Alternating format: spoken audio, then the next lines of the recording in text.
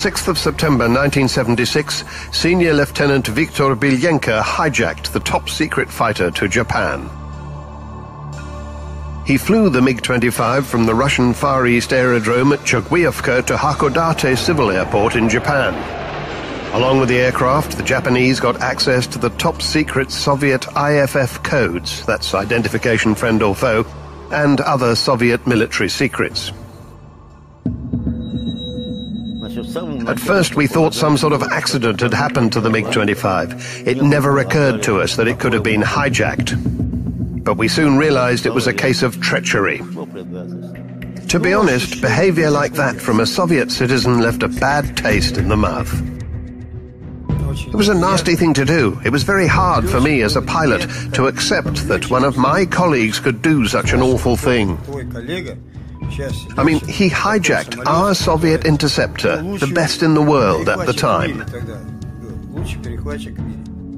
The Air Force had just begun to get hold of these aeroplanes. People were excited about this interceptor that had been designed and developed and successfully tested and finally built. Our military pilots were just getting used to it. The guy was a jerk. He didn't care about his country. He was a man with no feelings for his people or for his motherland. The Soviet Union demanded that the aircraft and the pilot be returned, but the United States granted Viktor Belenko political asylum. Eventually, under pressure, the Japanese had to give the MiG-25 to the Soviet Union, but not before they and the Americans had examined it in minute detail. The aircraft was covered all over with technical information about it, all translated into Japanese words and characters. Сверху было написано по-японски, что это такое. They also sampled each turbine and compressor blade from the engine. They took the canopy apart because they wanted to understand how the canopy plexiglass could withstand the great heat produced at high speed and high altitude. They drilled holes in primary aircraft parts to investigate the metal characteristics. And when we got the aircraft back, we found American-made circuit breakers installed in it. Apparently, they tried some tests on various bits of equipment, but they blew it. We still don't know why Viktor Belenko hijacked the aircraft. Was it a setup by American intelligence? Or was it just that Belenko wanted a better life abroad? Whatever the reason, it put the defense capacity of the Soviet Union under great stress. That was critical. In the Soviet Union, the hijacking did speed up the further development of the aircraft. Not only that, but the Mikoyan Design Bureau started work on the new MiG-31 interceptor.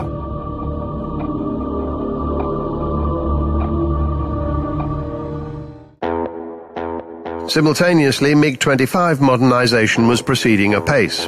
A new version was called MiG-25 PD, PD being the Russian abbreviation for Upgraded Interceptor. Everybody knew that the hijacked MiG-25 had been minutely examined by foreign experts. So the Soviet Union decided on changes to the armament system, the IFF friend or foe codes, and other things. And of course, the current aircraft systems had to be replaced with new ones. It wasn't easy, but what else could we do? First of all, they changed the aircraft detection system. The new Sapphire 25 airborne interception radar was installed. It could detect low-level airborne targets. That had become necessary with changing threats.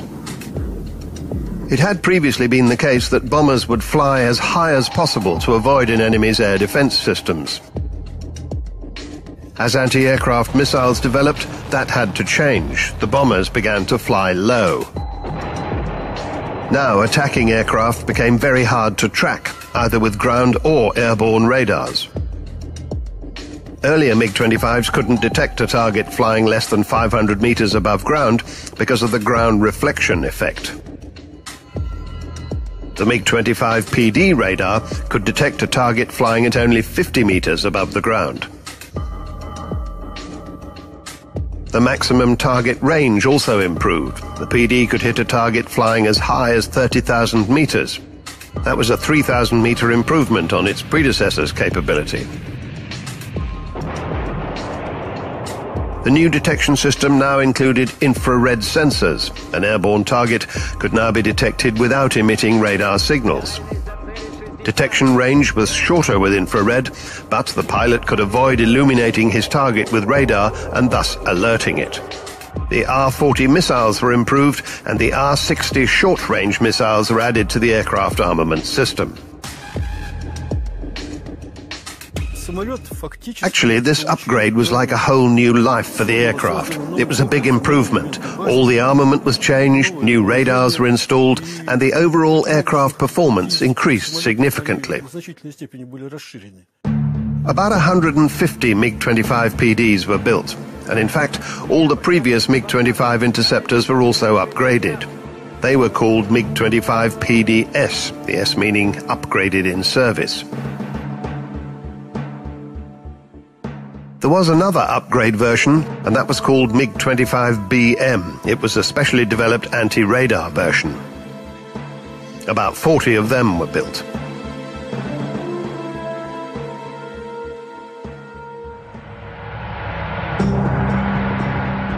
The total production of all the upgraded MiG-25s amounted to 1,200 aircraft in all. I would say the MiG-25 was essential for the Soviet Union, but also for world aviation. It was absolutely an achievement, with great aerodynamics and a superb power plant, very advanced for its time. The new approach had required so many problems to be solved by the designers and engineers. This aircraft really boosted advanced technologies in the Soviet aviation industry. In the 1970s, the Soviet Union was accelerating technologically, particularly in aviation. I think that was an achievement for the whole Soviet people. The MiG-25 was a world great in the history of aviation. It went into service at the peak of the Cold War, and it turned into a symbol of Soviet advanced technology. It set a world altitude record in 1977, and 36 years later, in the second decade of the 21st century, that record holds. Not only that, but the MiG-25 remains the fastest Russian aircraft ever built. You might ask, why didn't they build an even faster aeroplane after the MiG-25? Well, the race for aeronautical speed slowed down significantly when they got to three times the speed of sound. Although there are still a few research bureau where they're looking at hypersonic speeds, it seems likely that the objective will be just too expensive for manned flight.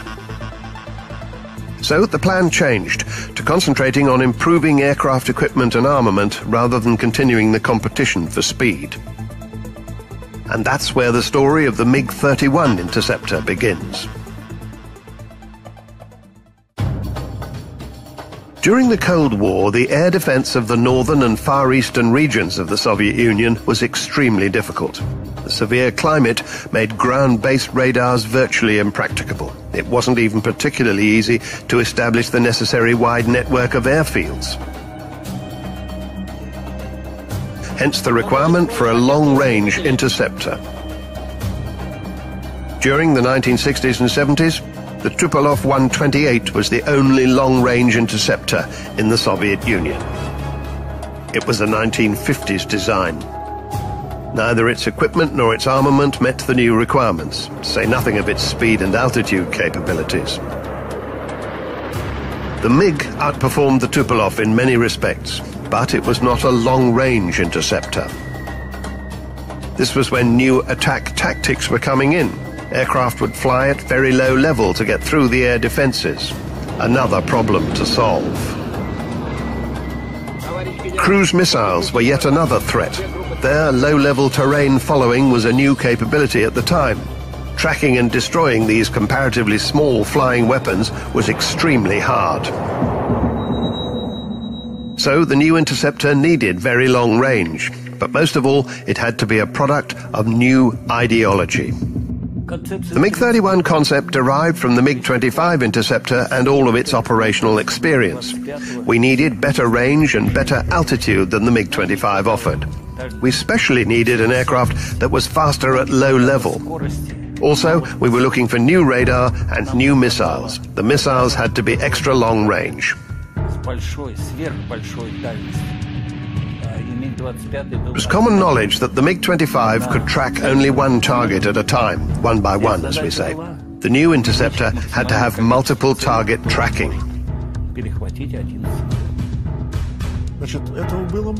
But one aircraft standing against a whole horde of attacking aircraft or missiles would not be enough. The whole concept had to be changed. The new idea was to use interceptors in a group. Command and control and direction would be provided by special data transmission equipment. The designers started developing the MiG-31 in 1968. Gleb Lozino-Lozinsky was appointed chief designer. He was replaced after eight years in 1976 by Konstantin Vasilchenko. The MiG-31 project was known in the factory as E155MP. That harked back to the MiG-25's factory code E155. In Russian, those letters MP stand for Multi-Role Interceptor.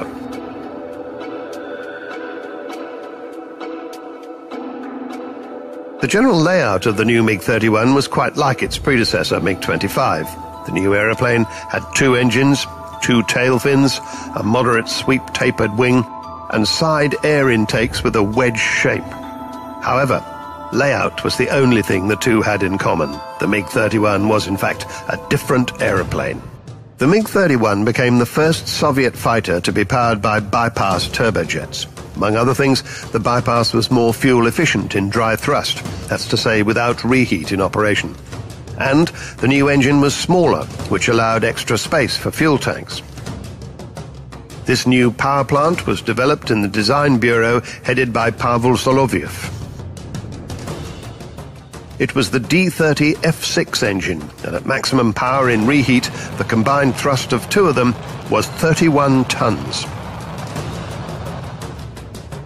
The leading edge root extensions on the front of the wing improve maneuverability at high angles of attack. There's also an advanced flap system that increases lift at lower speeds.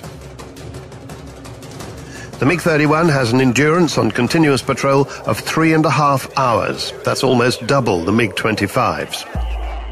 And in case you should think we're making demeaning comparisons with the MiG-25, well, it's not that at all. It is, in fact, a way to better understand the impressive development of the MiG-31.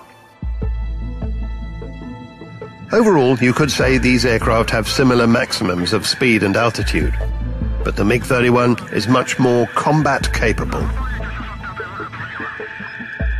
The MiG-31 has a two-person crew, pilot and navigator weapon systems operator, or WISO. Second cockpit behind the pilot has a big screen for displaying the tactical situation. Originally, the designers expected that with the pilot in front, the seat behind him would be occupied by a group commander, and that group commander was to be a general, the thinking was that these groups of aircraft would be employed for very important strategic missions, and important missions had to be under the control of a general. But further mature consideration and research suggested that what the successful prosecution of the strategic mission really needed, instead of a general on board, was simply a good navigator weapons systems operator. During combat missions, each crew member has his own part to play. The aircraft commander flies the aircraft, launches missiles, fires the cannon, and makes final decisions in all sorts of different situations. The control column has a trimmer switch. It's there to reduce the load for the pilot when he's maneuvering.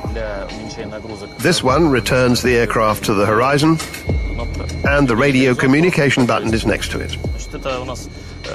This is the brake lever both for the nose and the main wheels, and also the buttons to launch the missiles and fire the cannon. Conventionally, the throttles are on the left. Two engines, hence two throttles. Their positions can be secure position, idle power, maximum power, minimum reheat, and full reheat. The navigator plots tracks, continually corrects them when required, and ensures the appropriate readiness for combat. The navigator, who's also the WISO, can also fly the aircraft. So there's a pair of throttles in the second cockpit too. And here's how the extending control column pulls up when you need it.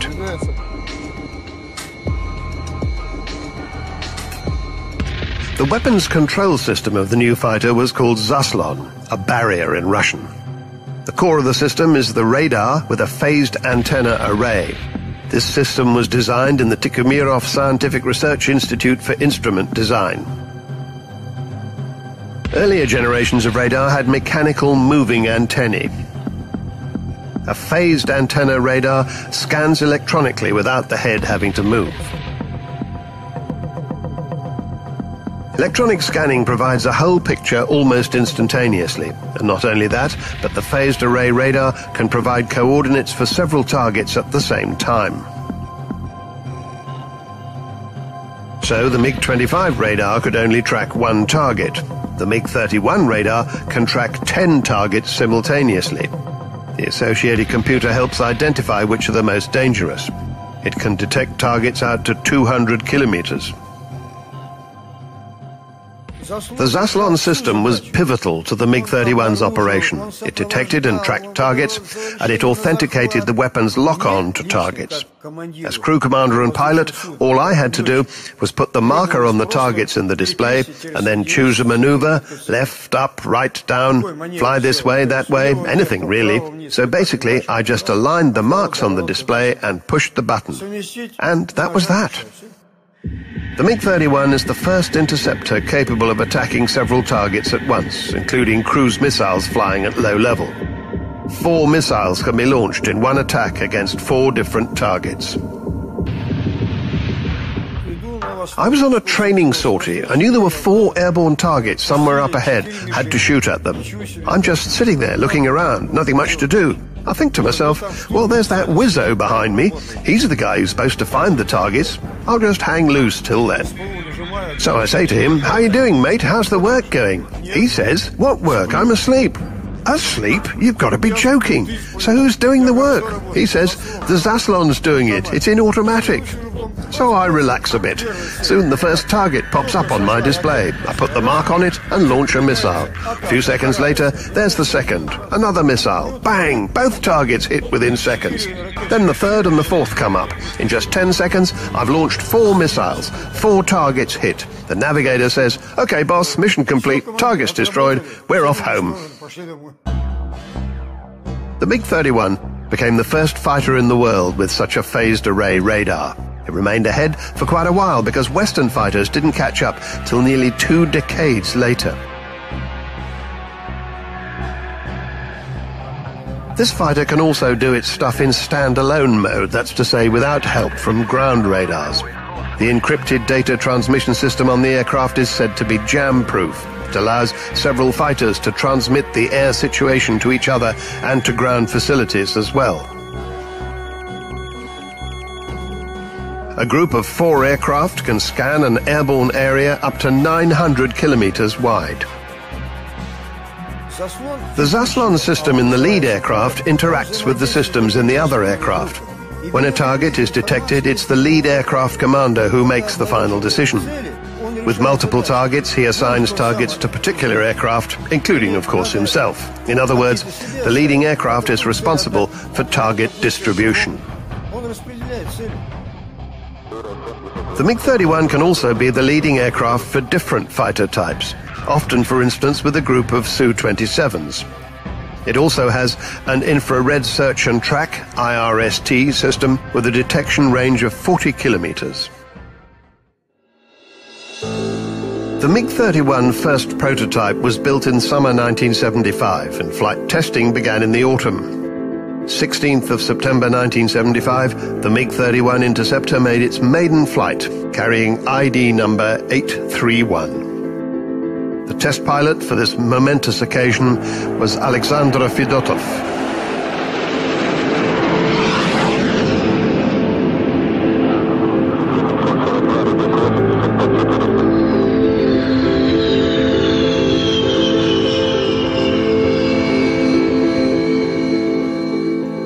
time of this maiden flight, Alexander Fedotov was already a distinguished test pilot of the USSR and a hero of the Soviet Union. He'd been working for the Mikoyan Design Bureau as chief pilot for 22 years.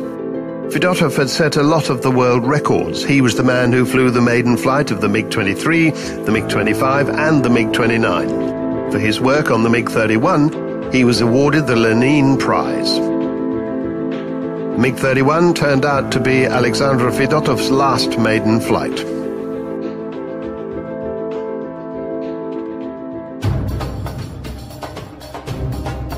On the 4th of April 1984, Fedotov and test navigator weapon systems operator Valery Zaitsev were flying the interceptor. It was a routine test flight to check the aircraft after scheduled maintenance. A few minutes after takeoff, a warning came on indicating they were running very low on fuel. Fedotov decided to abort the flight and turned back towards the aerodrome.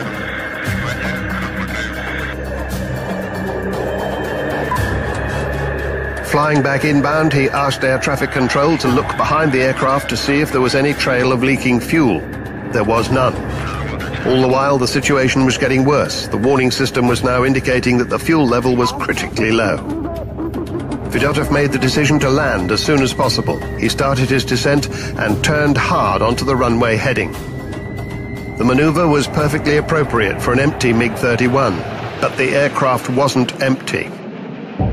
The system had been giving false warnings. The fuel tanks were almost full, and the aircraft was too heavy to sustain the turn. Fedotov tried to recover, but he was too low. They had no chance. Alexander Fedotov and Valery Zaitsev both died. The warning system played a dirty trick on them. Had it been a failure of the transducer so that all the lights lit up at the same time, Fedotov would have realized that there wasn't a leak and the tanks weren't empty. But the warnings came on progressively, one by one, just as if the tanks were actually emptying. His speed and height on approach were a bit higher than you'd want for a normal landing, so he decided to make a hard turn to significantly reduce his speed. He thought that the aircraft had lost at least 10 tons of fuel, but it hadn't. It was too heavy, and it flicked. Such was the fate of the men. One moment they were alive, they could still speak, they were still thinking. But nothing could be done to save them. Even if they'd ejected from the aircraft, they would not have been high enough.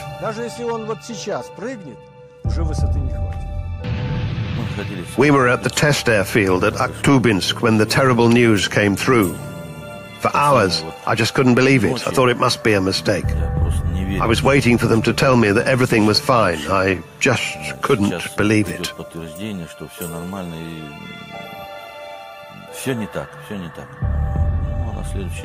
Well, the next day we were ferrying two MiG-25s over there. As we turned on finals for the runway, I saw where Fedotov had crashed. It was only then that I finally realized he was really gone. You might say that the sky always takes the best men. With Fedotov, many people say that God took him away. God always takes the best.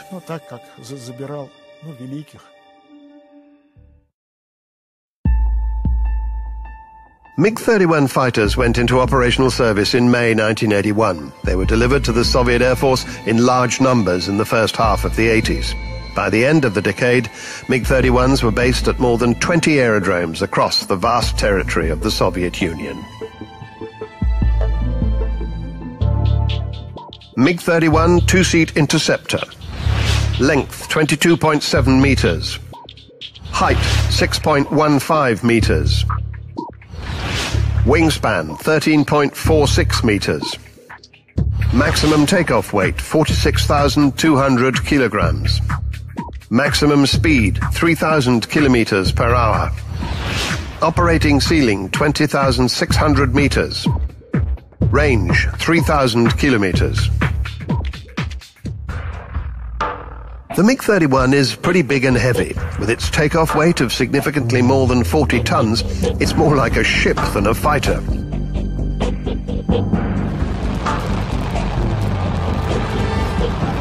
The MiG-31 replaced a number of older interceptor fighters with lesser combat capabilities. The crews had to get used to long-distance flights, which required them to be specially qualified. Also, these patrols were sometimes over the waters of the Arctic Ocean. That added extra stress for the crews. When you're flying the MiG-31, there's no time to relax. Constant vigilance is essential whenever you're on board, you know. It sometimes surprises pilots with plenty of experience in other types of aircraft when they fly the MiG-31 for the first time. I heard one of them say that when you take off in the MiG-31, you breathe in and you don't breathe out until you've landed. I came across it in 1992. I still remember my first flight. I'll never forget it. It engenders very strong emotions.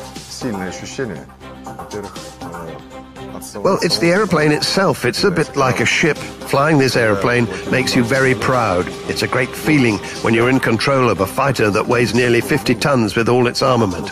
It's a splendid aeroplane. The MiG-31's weaponry includes four R-33 long-range missiles carried under the fuselage. The R-33 can hit high-speed targets up to 120 kilometers away. And those targets can be at heights of anything between 25 meters and 28,000 meters.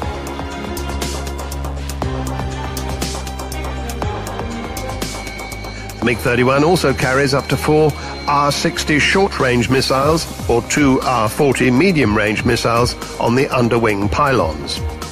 And there's also a six-barrel GSH 623 cannon with 260 rounds of 23mm ammunition. Cannons mounted in the fairing behind the starboard main undercarriage bay. As far as flight tests. By the beginning of the 90s, about 500 MiG-31 interceptors had been produced in various versions. And a new aircraft, the MiG-31M, was about to go into production.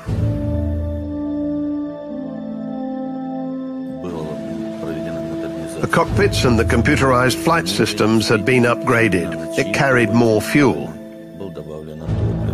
Various modifications had been incorporated that improved the aircraft performance. There were new engines offering greater fuel efficiency and more power. In fact, you could hardly call the aeroplane a MiG-31 because it was actually better in nearly all respects than the MiG-31.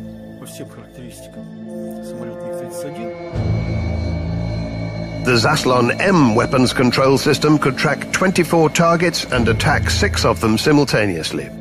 There were six long-range missiles under the fuselage, up from four.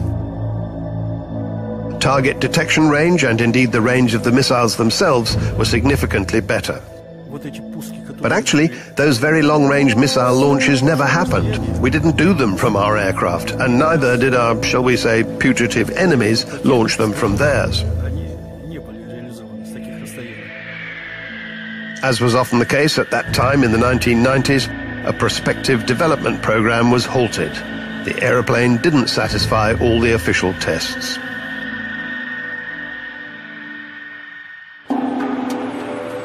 The technological experience of developing the M version proved useful in the further development of existing MiG-31s.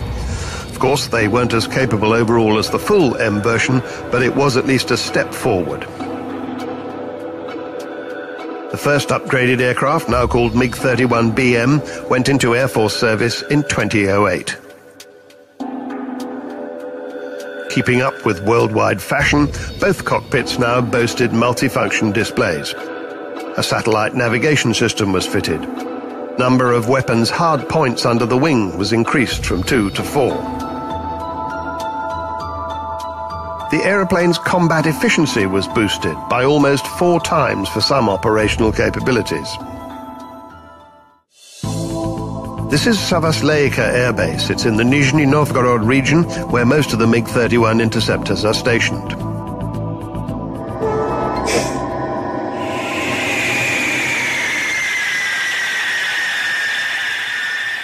They usually take off in full reheat.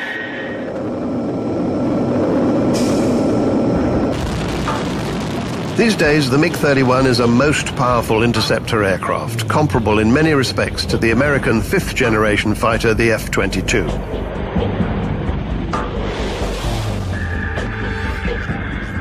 Today, the Americans recognize that if there is one aircraft to compare with the F-22, it is the MiG-31. First of all, it's got a more powerful radar. And secondly, its missiles have a bigger payload and better range than the missiles on the F-22. The MiG-31 is faster than the F-22. Its dynamic field of interception is greater. The MiG-31 is in fact the most versatile interceptor with the best abilities in target interception.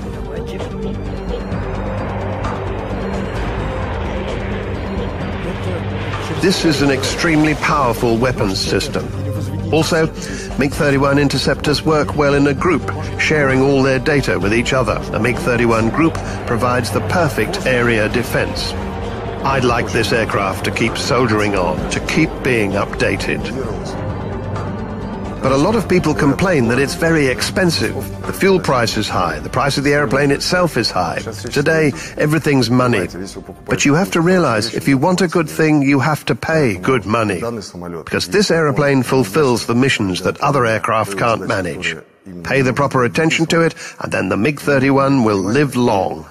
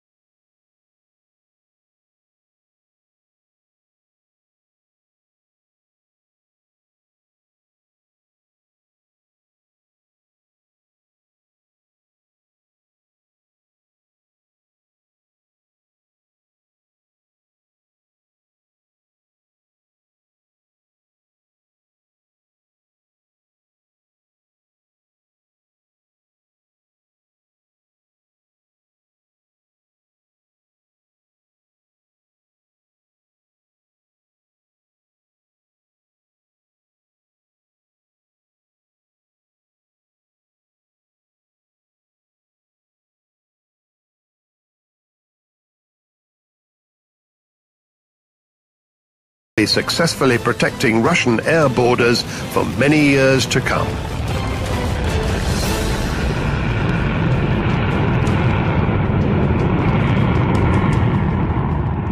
an infrared search and track IRST system with a detection range of 40 kilometers. The MiG-31 first prototype was built in summer 1975 and flight testing began in the autumn. 16th of September 1975, the MiG-31 Interceptor made its maiden flight, carrying ID number 831. The test pilot for this momentous occasion was Alexander Fedotov,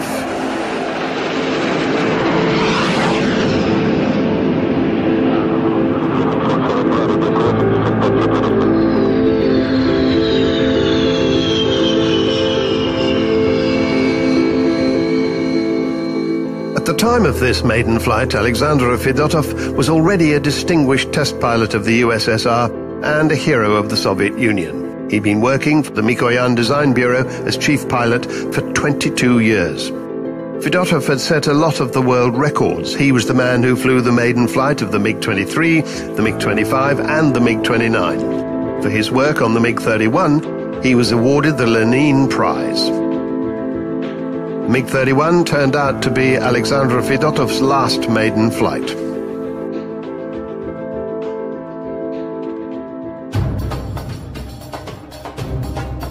On the 4th of April 1984, Fedotov and test navigator weapon systems operator Valery Zaitsev were flying the Interceptor. It was a routine test flight to check the aircraft after scheduled maintenance.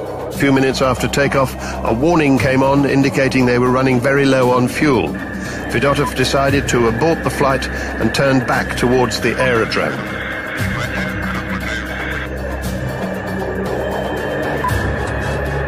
flying back inbound, he asked air traffic control to look behind the aircraft to see if there was any trail of leaking fuel. There was none. All the while, the situation was getting worse. The warning system was now indicating that the fuel level was critically low. Fedotov made the decision to land as soon as possible. He started his descent and turned hard onto the runway heading. The maneuver was perfectly appropriate for an empty MiG-31, but the aircraft wasn't empty. The system had been giving false warnings. The fuel tanks were almost full, and the aircraft was too heavy to sustain the turn.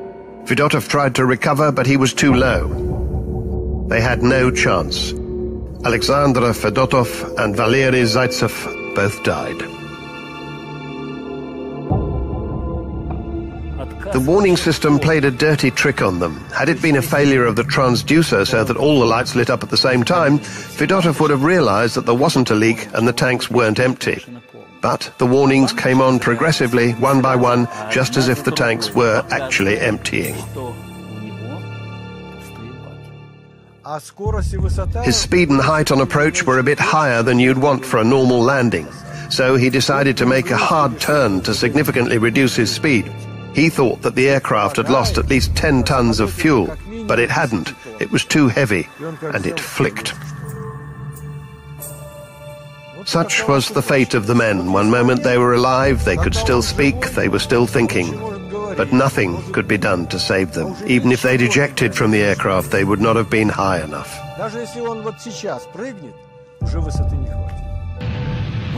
We were at the test airfield at Akhtubinsk when the terrible news came through. For hours, I just couldn't believe it. I thought it must be a mistake. I was waiting for them to tell me that everything was fine. I just couldn't believe it.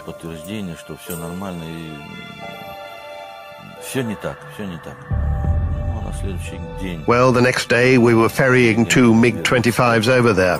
As we turned on finals for the runway, I saw where Fedotov had crashed. It was only then that I finally realized he was really gone. You might say that the sky always takes the best men. With Fedotov, many people say that God took him away. God always takes the best.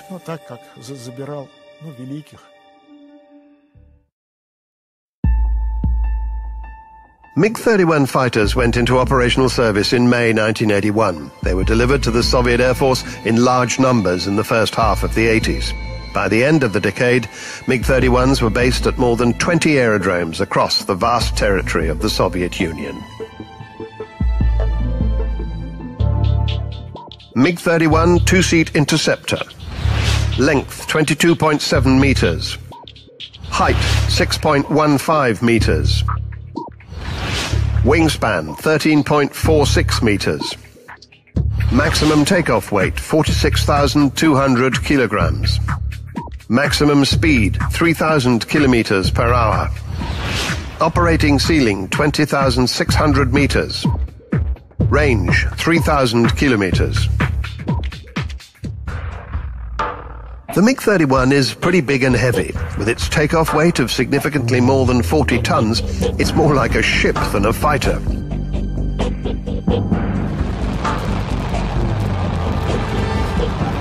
The MiG-31 replaced a number of older interceptor fighters with lesser combat capabilities. The crews had to get used to long-distance flights, which required them to be specially qualified. Also, these patrols were sometimes over the waters of the Arctic Ocean. That added extra stress for the crews. When you're flying the MiG-31, there's no time to relax. Constant vigilance is essential whenever you're on board, you know. It sometimes surprises pilots with plenty of experience in other types of aircraft when they fly the MiG-31 for the first time. I heard one of them saying demeaning comparisons with the MiG-25. Well, it's not that at all. It is, in fact, a way to better understand the impressive development of the MiG-31. Overall, you could say these aircraft have similar maximums of speed and altitude, but the MiG-31 is much more combat capable. The MiG-31 has a two-person crew, pilot and navigator weapon systems operator, or WISO. Second cockpit behind the pilot has a big screen for displaying the tactical situation. Originally, the designers expected that with the pilot in front, the seat behind him would be occupied by a group commander, and that group commander was to be a general. The thinking was that these groups of aircraft would be employed for very important strategic missions, and important missions had to be under the control of a general.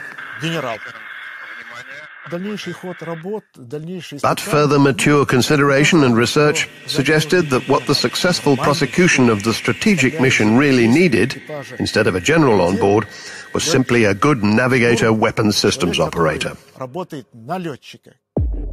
During combat missions, each crew member has his own part to play. The aircraft commander flies the aircraft, launches missiles, fires the cannon, and makes final decisions in all sorts of different situations. The control column has a trimmer switch. It's there to reduce the load for the pilot when he's maneuvering. This one returns the aircraft to the horizon, and the radio communication button is next to it. This is the brake lever both for the nose and the main wheels, and also the buttons to launch the missiles and fire the cannon.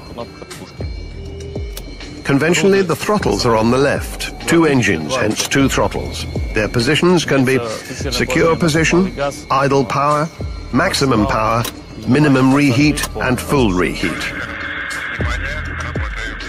The navigator plots tracks, continually corrects them when required, and ensures the appropriate readiness for combat. The navigator, who's also the WISO, can also fly the aircraft. So there's a pair of throttles in the second cockpit too. And here's how the extending control column pulls up when you need it.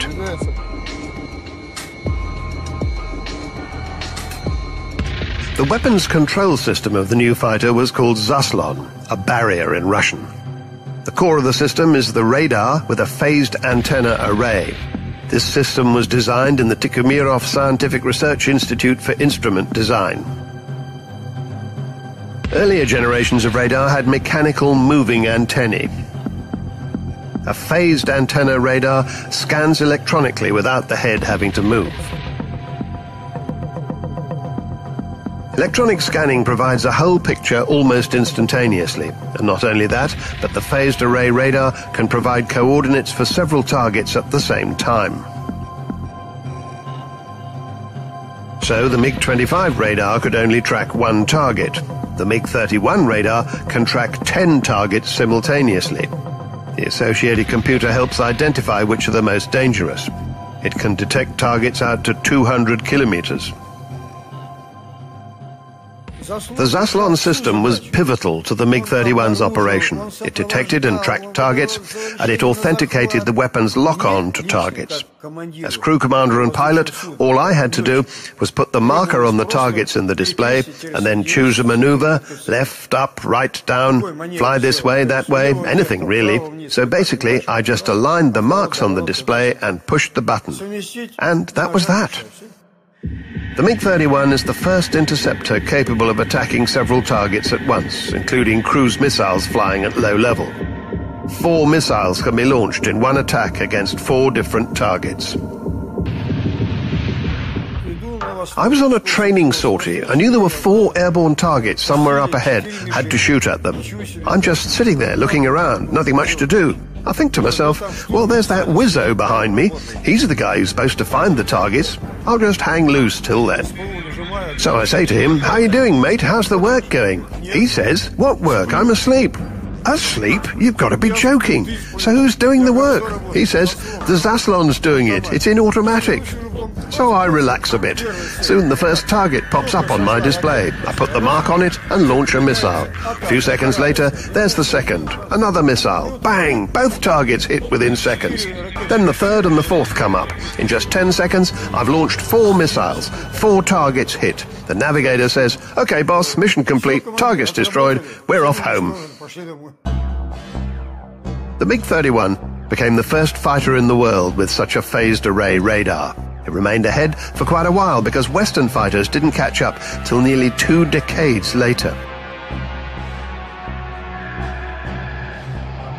This fighter can also do its stuff in standalone mode, that's to say without help from ground radars.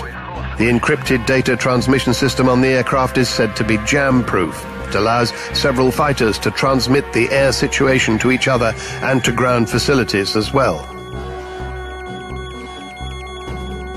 A group of four aircraft can scan an airborne area up to 900 kilometers wide. The Zaslon system in the lead aircraft interacts with the systems in the other aircraft. When a target is detected, it's the lead aircraft commander who makes the final decision. With multiple targets, he assigns targets to particular aircraft, including, of course, himself. In other words, the leading aircraft is responsible for target distribution. The MiG-31 can also be the leading aircraft for different fighter types often, for instance, with a group of Su-27s. It also has a that when you take off in the MiG-31, you breathe in and you don't breathe out until you've landed. I came across it in 1992. I still remember my first flight. I'll never forget it. It engenders very strong emotions. Well, it's the aeroplane itself. It's a bit like a ship. Flying this aeroplane makes you very proud. It's a great feeling when you're in control of a fighter that weighs nearly 50 tons with all its armament. It's a splendid aeroplane. The MiG-31's weaponry includes four R-33 long-range missiles carried under the fuselage. The R-33 can hit high-speed targets up to 120 kilometers away. And those targets can be at heights of anything between 25 meters and 28,000 meters.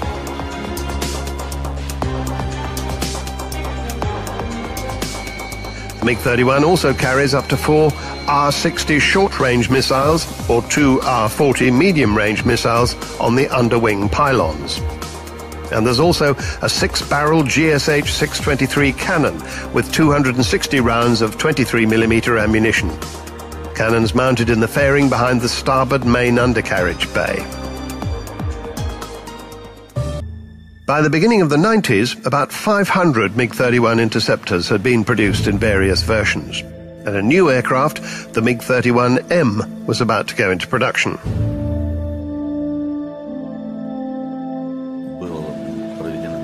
The cockpits and the computerized flight systems had been upgraded. It carried more fuel.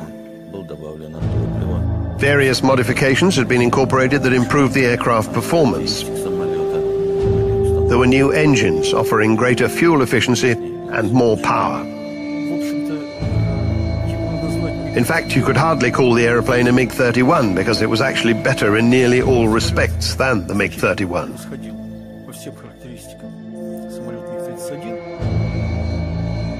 The Zaslon M weapons control system could track 24 targets and attack six of them simultaneously. There were six long-range missiles under the fuselage, up from four. Target detection range and indeed the range of the missiles themselves were significantly better. But actually, those very long-range missile launches never happened. We didn't do them from our aircraft, and neither did our, shall we say, putative enemies launch them from theirs. As was often the case at that time in the 1990s, a prospective development program was halted.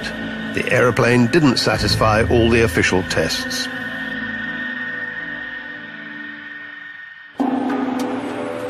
The technological experience of developing the M version proved useful in the further development of existing MiG-31s.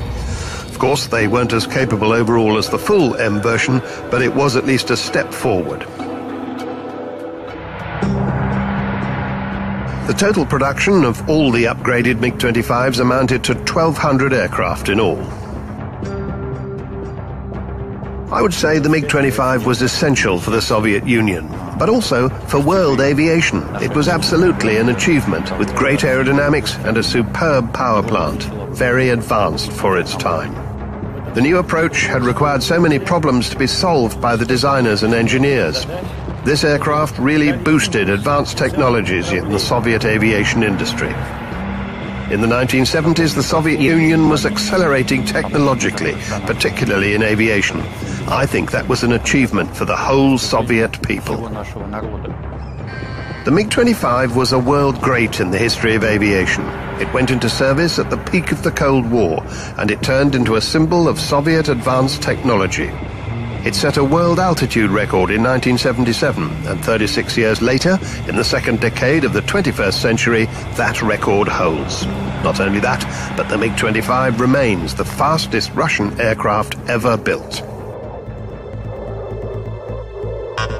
You might ask, why didn't they build an even faster aeroplane after the MiG-25? Well, the race for aeronautical speed slowed down significantly when they got to three times the speed of sound.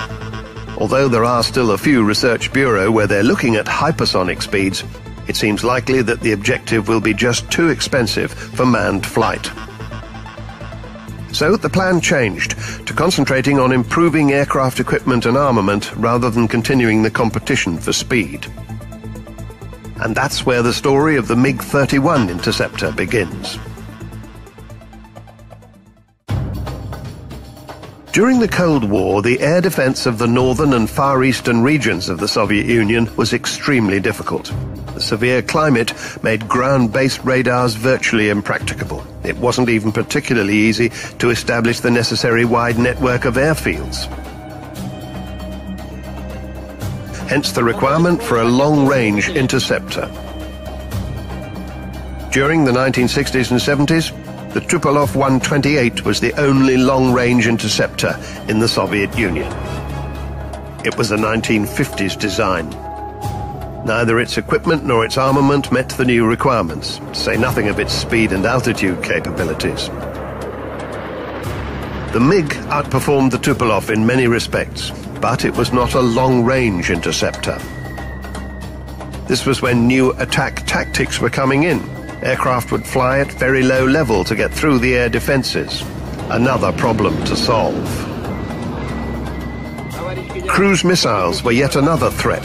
Their low-level terrain following was a new capability at the time. Tracking and destroying these comparatively small flying weapons was extremely hard. So the new interceptor needed very long range, but most of all, it had to be a product of new ideology. The MiG-31 concept derived from the MiG-25 interceptor and all of its operational experience. We needed better range and better altitude than the MiG-25 offered. We specially needed an aircraft that was faster at low level. Also, we were looking for new radar and new missiles. The missiles had to be extra long range. It was common knowledge that the MiG-25 could track only one target at a time, one by one, as we say. The new interceptor had to have multiple target tracking.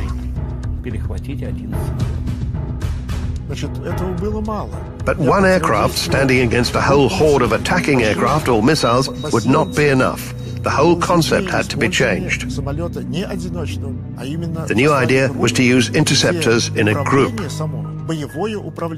Command and control and direction would be provided by special data transmission equipment. The designers started developing the MiG-31 in 1968.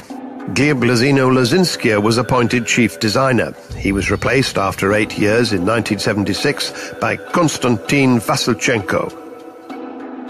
The MiG-31 project was known in the factory as E155MP that harked back to the MiG-25's factory code E155. In Russian, those letters MP stand for Multi-Role Interceptor.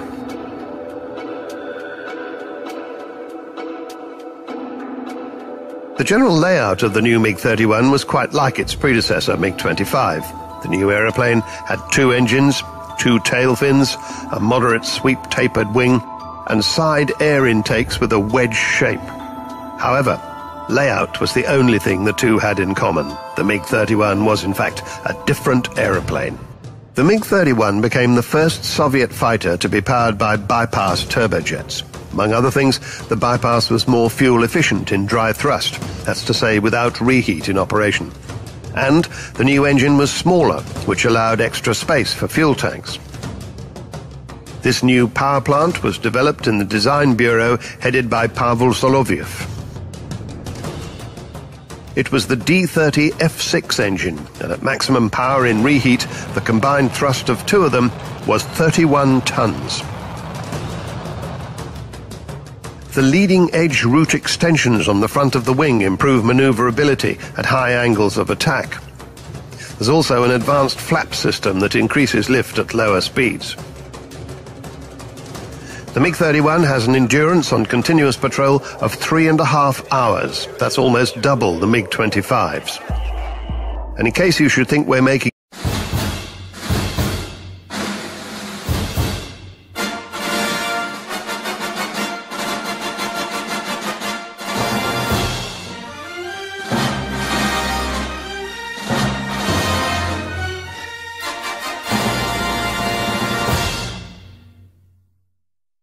6th of September 1976, Senior Lieutenant Viktor Belenko hijacked the top-secret fighter to Japan.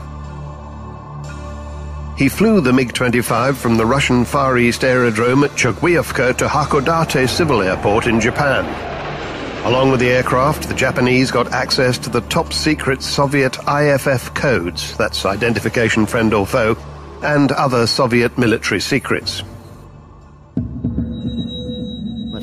At first we thought some sort of accident had happened to the MiG-25. It never occurred to us that it could have been hijacked. But we soon realized it was a case of treachery.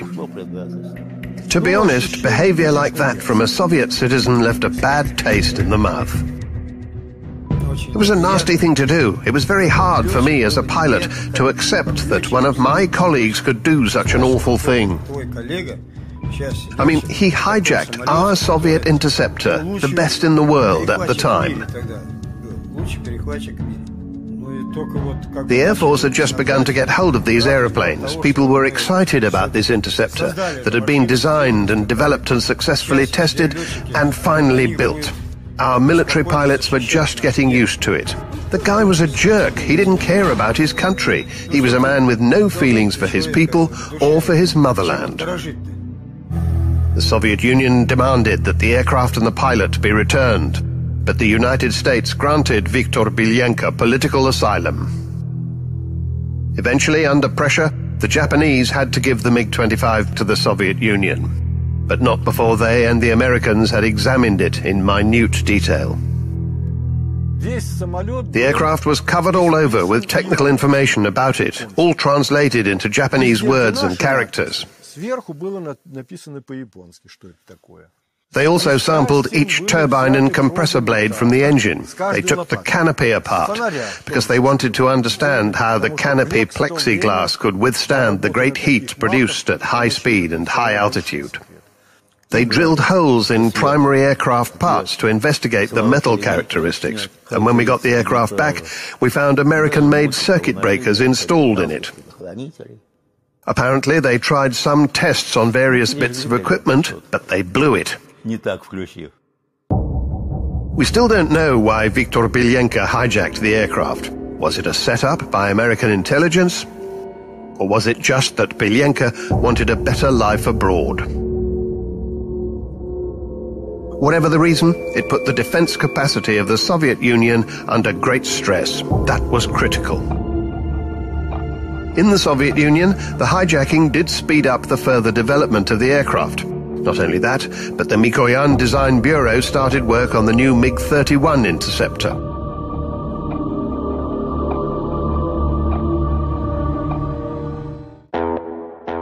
Simultaneously, MiG-25 modernization was proceeding apace. A new version was called MiG-25 PD, PD being the Russian abbreviation for Upgraded Interceptor. Everybody knew that the hijacked MiG-25 had been minutely examined by foreign experts. So the Soviet Union decided on changes to the armament system, the IFF friend or foe codes, and other things. And of course, the current aircraft systems had to be replaced with new ones. It wasn't easy, but what else could we do? First of all, they changed the aircraft detection system the new Sapphire 25 airborne interception radar was installed. It could detect low-level airborne targets. That had become necessary with changing threats. It had previously been the case that bombers would fly as high as possible to avoid an enemy's air defense systems. As anti-aircraft missiles developed, that had to change. The bombers began to fly low. Now attacking aircraft became very hard to track, either with ground or airborne radars. Earlier MiG-25s couldn't detect a target flying less than 500 meters above ground because of the ground reflection effect. The MiG-25 PD radar could detect a target flying at only 50 meters above the ground. The maximum target range also improved. The PD could hit a target flying as high as 30,000 meters. That was a 3,000 meter improvement on its predecessor's capability. The new detection system now included infrared sensors. An airborne target could now be detected without emitting radar signals. Detection range was shorter with infrared, but the pilot could avoid illuminating his target with radar and thus alerting it. The R-40 missiles were improved and the R-60 short-range missiles were added to the aircraft armament system. Actually, this upgrade was like a whole new life for the aircraft. It was a big improvement. All the armament was changed, new radars were installed, and the overall aircraft performance increased significantly. About 150 MiG-25 PDs were built, and in fact, all the previous MiG-25 interceptors were also upgraded. They were called MiG-25 PDS, the S meaning upgraded in service. There was another upgrade version, and that was called MiG-25BM. It was a specially developed anti-radar version.